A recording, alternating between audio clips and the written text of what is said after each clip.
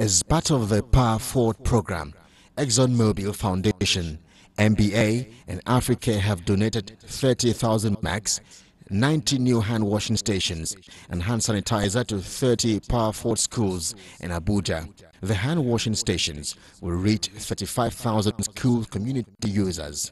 Power Forward, a youth development initiative launched in 2013 by the ExxonMobil Foundation, the NBA, and Africare uses basketball to teach health literacy, including malaria prevention and personal hygiene, and life skills such as leadership, respect, and responsibility to students in 30 secondary schools in Abuja.